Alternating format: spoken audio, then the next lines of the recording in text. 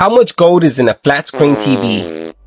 10 karat gold, 14 karat gold, and sometimes even 24 karat gold can be found. But exactly how much gold is in one flat screen TV? Most are around 20 cents but there are a few that contain much more. Depends on the make, model and year. The older the golder I always say. So how is this even worth it? I mean 20 cents is not anything. It's about accumulation and also scrapping the other metals as you go.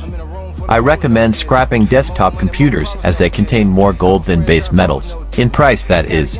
Also, getting all these electronics handed to me. See my pin video on my account to see how I do it, before you say anything about the price of the solution. The solution is under $5 to recover this gold off the boards.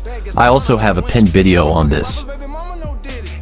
If you see my profile picture glowing, I'm live join me. Don't forget to like this video as it helps TikTok push more of my videos to your For You page.